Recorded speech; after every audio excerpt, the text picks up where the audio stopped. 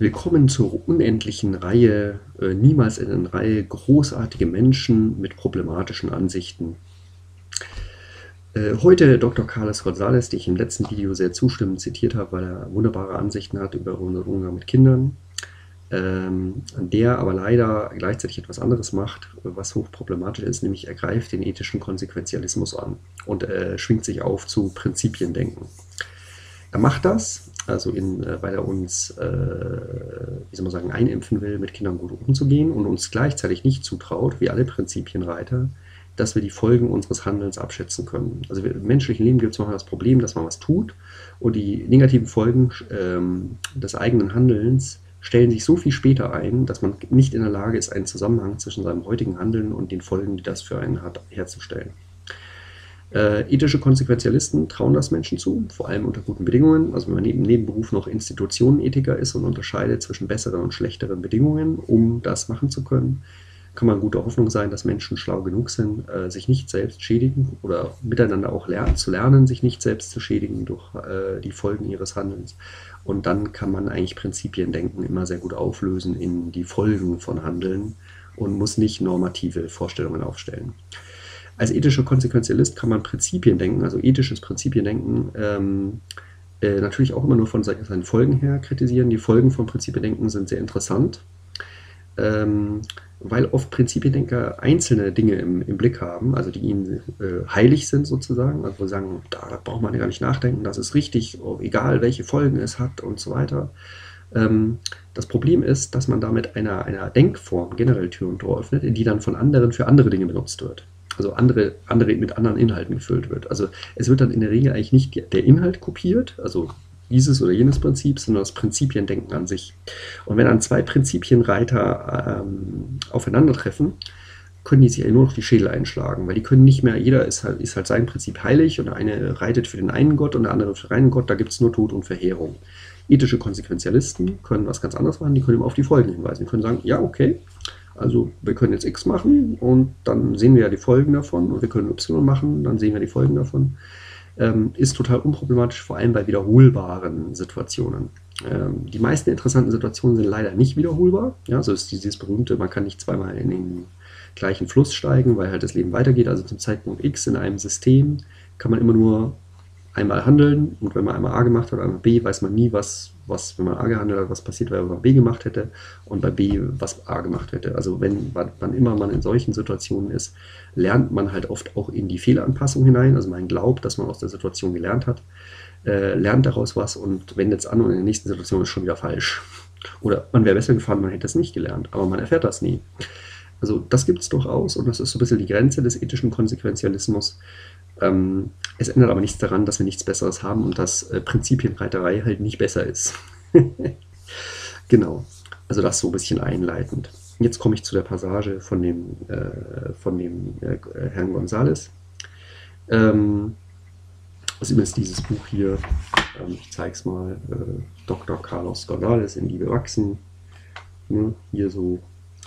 Ähm, und er ist ein ganz toller Autor, der kann auch ganz toll schreiben. Er ist halt so ein bisschen, also er reitet für eine tolle Sache und äh, äh, hat auch so ein bisschen so, er bringt das so sehr auf den Punkt. Er macht sehr viel Parallelisierungen, also im Sinne von, äh, würden wir das Gleiche über unser Zusammenhang mit äh, unter Erwachsenen sagen. Dann setzt er manchmal ein, zum Beispiel äh, so Texte, spielt er damit, also in Texte, wo äh, Umgang mit Kindern beschrieben wird und setzt dann einfach mal Frauen ein statt Kinder und äh, lässt uns spüren, was das mit uns macht, um die Unterschiede zu erleben. Also das ist auch ein sehr kluges Vorgehen. Und ähm, so kommt man dann dahin, dass man merkt, vielleicht ist das, wie wir ja über Kinder reden und denken, wirklich Unsinn und dann erst recht, wie wir uns gegenüber ihnen verhalten. Also äh, er will Kinder schützen, kurz gesagt, vor unserem unsinnigen Verhalten. Äh, kann man noch kurz dazu sagen, kleiner Exkurs, das hatten wir auch ein paar Videos zuvor, ähm, Jesper Juhl, äh, der ja völlig zu Recht darauf hinweist, dass wir in Beziehungen ähm, als Erwachsene halt die Verantwortung für die Beziehungsqualität haben. Ähm, das beißt sich eigentlich null mit dem, was der Herr González sagt. Ähm, sind so ein bisschen so unterschiedliche Dinge betont. Ähm, also zum Beispiel ganz platt, man kann Kinder jederzeit äh, fragen, wie sie dieses oder jenes haben wollen, wenn man halt mit den Konsequenzen dieses Fragen eben leben kann, kurzfristig wie langfristig. Äh, da geht es aber eben um Details und einzelne Inhalte, aber nicht um die Beziehungsqualität. Also zum Beispiel in meiner Familie, wir machen das nicht erst seit mein Sohn jetzt zehn ist, sondern sehr, sehr viel früher. Dass wir in vielen Details die fragen, wie willst du es denn haben und dann das abwägen, wie will ich es haben und dann irgendwie zu einer Entscheidung kommen gemeinsam, also auf einer Basis einer relativen Gleichwertigkeit. Ähm, äh, aber das heißt ja nicht, dass die, Bezie die Verantwortung für die Beziehung ist, äh, bei dem Kind ist. Also wenn jetzt dann irgendwas aus unserer Aushandlung, irgendwas Bescheuertes passiert, sind es ja trotzdem wir gewesen als Erwachsene. Also das lässt sich wunderbar trennen, Inhaltsverantwortung und Beziehungsverantwortung. Und insofern äh, spricht nichts gegen so ein demokratisches Vorgehen. Gleichwertiges Vorgehen ist wahrscheinlich wirklich das bessere Wort dafür. Und ähm, solange eben äh, klar ist, dass am Ende die Eltern die Verantwortung haben für gut oder schlecht, ja, und weil Kinder eben damit überfordert sind. Also wenn man Kindern dann das, das, das äh, sehr früh die Verantwortung für das Wohlergehen der Eltern oder der Erwachsenen zuschreibt, das ist wirklich eine Überforderung und die hat schlimme Folgen und ist eben deswegen schlimm, weil es schlimme Folgen hat. Gut, jetzt kommen wir zu der Passage von Herrn González. Ich lese die mal kurz vor. Also er geht sehr stark auf dieses Schlagen von Kindern ein und so. Ähm, und eben wie das auch ihn stört, wie das gerechtfertigt ist, wird, dass man Kinder nicht schlagen soll und äh, er macht das eben anders und das lese ich mal kurz vor. So könnte es allenfalls sogar sein, dass es letzten Endes gar nicht so schlecht ist, Kinder zu schlagen, weshalb wir zurzeit keine offizielle Erklärung gegen die körperliche Bestrafung abgeben wollen. In Klammern, nebenbei, warum nennt man das Schlagen eines Erwachsenen häusliche Gewalt und das Schlagen eines Kindes körperliche Bestrafung? Das ist diese Parallelisierung, mit der er öfters arbeitet. Anscheinend ist das Schlagen von Kindern nur dann schlecht, wenn dies Alkoholismus und geistige Probleme verursacht. Das Schlagen eines Erwachsenen dagegen ist immer schlecht und prinzipiell abzulehnen. Es ist eine Straftat, eine Verletzung der Menschenrechte, ganz gleich, ob es Alkoholismus verursacht oder nicht. Selbst wenn das Schlagen Erwachsene vor Alkoholismus bewahren würde, bliebe es schlecht, nicht wahr? Wir würden Unternehmen nicht erlauben, ihre Arbeiter zu schlagen, auch wenn dies ihre Produktivität erhöhte. Genauso wenig würden wir eine Legalisierung der Folter hinnehmen, selbst wenn dies die Anzahl der Straftaten verringerte. Wir würden auch kein von Ernährungswissenschaftlern kontrolliertes Einheitsessen verpflichtend in allen Restaurants einführen, selbst wenn dies das Cholesterin senkte. Und Feuerwehrleute würden auch nicht aufhören, nachts ans Telefon zu gehen, damit die Leute aufhörten, wegen Lappalien anzurufen. Nein, im Umgang mit Erwachsenen ist nicht alles okay. Es gibt Dinge, die man prinzipiell tut oder lässt, unabhängig davon, ob sie funktionieren oder nicht funktionieren. Ich als ethischer Konsequenzialist übersetze hier dieses Funktionieren als, welche Konsequenzen sie haben bzw. nicht haben. In diesem Buch trete ich dafür ein, dass es auch im Umgang mit Menschen, mit Menschen, mit Kindern Prinzipien gibt. Wir könnten mit gewissen Methoden vielleicht erreichen, dass unsere Kinder besser essen, mehr schlafen, ohne Widerstand gehorchen oder leiser sind. Aber wir dürfen sie keinesfalls einsetzen. Und dies nicht notwendigerweise deshalb, weil diese Methoden unnütz und schädlich wären und auch nicht, weil sie ein psychologisches Trauma auslösen, Einige der Methoden, die ich in diesem Buch kritisiere, sind effektiv und es kann sogar sein, dass einige unschädlich sind. Aber es gibt eben Dinge, die macht man einfach nicht. So Dr. Carlos González. So, ähm, jetzt, was sagt ein ethischer Konsequenzialist zu so einer Passage? Nun ja, äh, hätte es keine negativen Folgen, wenn man Kinder schlägt, dann kann man rein gar nichts dagegen sagen. Nur zufälligerweise hat es sehr negative Folgen. Also ähm, äh, was letztlich der Carlos González sagt, er traut uns Erwachsenen nicht zu, dass das, was wir jetzt mit Kindern antun und die Folgen, die das dann für die Kinder hat und die das für uns hat, dass wir das überreißen. Und deswegen ist er, fühlt er sich genötigt, Prinzipien aufzustellen, weil hätte das keine negativen Folgen, gibt es überhaupt keinen Grund, warum man überhaupt so ein Prinzip aufstellen sollte. Also auch hinter aller Prinzipienreiterei steht am Ende ein ethischer Konsequenzialismus und die eigentliche Aussage ist nicht ethischer Konsequenzialismus, ist Quark, sondern die Aussage ist, äh, es ist uns Menschen nicht zuzutrauen, dass wir die Folgen unseres Handelns, also vor allem die Langzeitfolgen und indirekten Folgen, vor allem die Beziehungsfolgen auch, überhaupt äh, wahrnehmen. Und aus dieser, dieser Angst eigentlich letztlich wird, werden dann Prinzipien aufgestellt. Weil wir können wirklich alles durchgehen im Detail und wir können uns einfach die Konsequenzen anschauen. Also ne, äh, Schlagen von Kindern ist nur dann schlecht, wenn dies Alkoholismus und geistige Probleme verursacht. Das ist ja eine Kritik an der Begründung, warum man nicht schlagen soll. Aber naja, das ist halt der Grund, warum das blöd ist, Kinder zu schlagen, weil das die Kinder massiv schädigt. Ja, so würde es sie nicht massiv schädigen, gäbe es da überhaupt kein Problem. Ja, also wenn es Kinder gut bekäme. Und das tut es aber nicht. Das ist eben, und das lässt sich überprüfen und finden und herausfinden. Gott sei Dank. Ähm, dann, äh, äh, ne, also äh, es, wir würden Unternehmen nicht erlauben, ihre Arbeitgeber zu äh, ihre Arbeiter zu schlagen, auch wenn dies ihre Produktivität erhöhte. Dazu kann man so viel sagen. Ich versuche es kurz zu fassen. Kurzversion ist, also es gibt da Studien zu, und äh, die sagen kurz gesagt, also du kannst natürlich durch die, das Prinzip von Belohnen, Belohnen und Bedrohen, also die klassische Stick and Carrot, äh, kannst, du, kannst du kurzfristig Leistung erhöhen, tatsächlich bei auch erwachsenen Menschen. Äh, äh, aber es gibt Einschränkungen. Erstens, langfristig funktioniert das nicht. Du musst permanent die Reize erhöhen. Äh, du, du, du, schädigst die Leute, auch erwachsene Menschen, auch massiv, dass du unendlichen Nachschub von Menschenmaterial brauchst, wenn du, wenn du so mit Menschen umgehst, mit erwachsenen Arbeitern.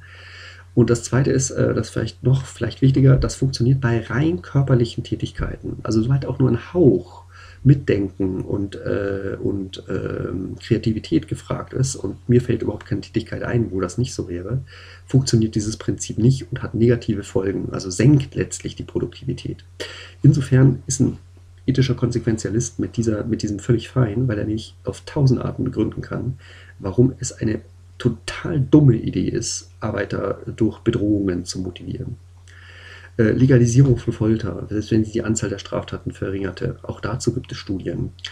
Äh, sehr interessant, zum Beispiel bei Alan Deutschman, Change or Die, der äh, Studien zitiert zum Umgang mit Wiederholungstätern, also mit Schwerststraftätern in den USA.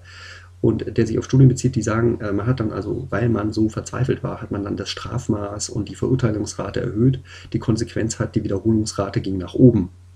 Also die Konsequenzen von sowas wie eben, äh, man behandelt den Menschen noch schlechter und bedroht sie mit noch drastischeren Strafen, ähm, ist eben negativ und keineswegs positiv. Ja, hätte es positive Folgen, ähm, dann ja, dann ist das vielleicht wirklich keine so schlechte Idee. Ja, wenn es halt positiv sich auswirken würde, tut es aber halt nicht. So, generell, also ich kann jetzt alles einzeln durchgehen. Ähm, ich spare mir das. Der Kernpunkt ist eigentlich ein anderer. Der Kernpunkt ist, dass einzelne Handeln immer mehrere Folgen auf mehreren Ebenen gleichzeitig haben. Das ist total normal im menschlichen Leben. Wir sind das auch völlig gewöhnt, dass wir also machen und wir müssen halt nicht eine Folge abwägen, sondern mehrere. Würden wir immer nur eine Folge äh, abwägen müssen unseres Handelns, also hätte jedes Handeln nur eine Konsequenz für uns und nicht mehrere auf mehreren Ebenen, dann wäre das menschliche Leben schrecklich einfach. Wir könnten reine Kalküle aufstellen und alles wäre ganz klar. Der Witz am Menschen ist aber immer, dass er mehrere Bedürfnisse gleichzeitig hat. Ja, das ist auch völlig normal für Menschen. Und, und dann auch noch ja, der Zeithorizont, den wir Menschen einnehmen können, das Gedächtnis, das wir haben, das, die Antizipationsfähigkeit, die wir wunderbarerweise haben, die dann auch noch unsere gegenwärtigen Bedürfnisse mit unseren zukünftigen Bedürfnissen abwägen lässt, unter Rekurs auf unsere vergangenen Erfahrungen. Das macht unser Leben so wunderbar komplex. Und ähm, das bedeutet, dass wir eigentlich die ganze Zeit die Konsequenzen unseres Handelns für verschiedene unserer Bedürfnisse abwägen müssen und das gleichzeitig. Und das kann also sein, dass unser Handeln in einer Hinsicht wirklich wünschenswerte Folgen hat, aber in einer anderen völlig un unwünschenswerte. Deswegen ist die Aufgabe permanent diese Abwägung der verschiedenen Bedürfnisse, die wir haben. Und also das Bedürfnisgesamtniveau anzuheben. Und wenn dann mehrere Menschen noch im Spiel sind, weil ja unsere Konnektivität, also unser, unser, unser Zusammenleben kurz gesagt und, und die Rückkopplungsschleifen, die es dadurch gibt, auch auf uns selber, äh, müssen wir auch die Bedürfnisse anderer mit abwägen. Dann wird es irre komplex. Und ähm, Führt aber dazu, dass grundsätzlich, weil andere Menschen für uns so wahnsinnig wichtig ist, wir die, auf die Beziehungsqualität echt achten müssen. Und wenn man eben Menschen bedroht die ganze Zeit, wenn man sie die ganze Zeit demütigt, senkt man die Möglichkeit, diese Bedürfnisabwägung auf eine rationale Weise überhaupt an, ansatzweise angehen zu können. Also sozusagen ähm, die Konsequenz von äh, Gewalt, Ko Ko Verhaltenskoordination über Gewalt und Demütigung und Bedrohung und Angstmachen ist desaströs auf allen Ebenen. Wäre es das nicht, wäre Gewalt nicht so schlimm. Tatsächlich. Aber es ist so schlimm, weil sie die, genau diese Konsequenz hat und von dieser Konsequenz auch völlig untrennbar ist. Wer sich das nochmal im Detail reinziehen will, was die Konsequenzen von so, einem, von so einem Umgangsform sind, ist bestens aufgehoben bei Thomas Gordon, bei dem, bei dem Buch Gute Beziehungen. Der macht das nochmal ganz im Detail, der dröselt das alles auf.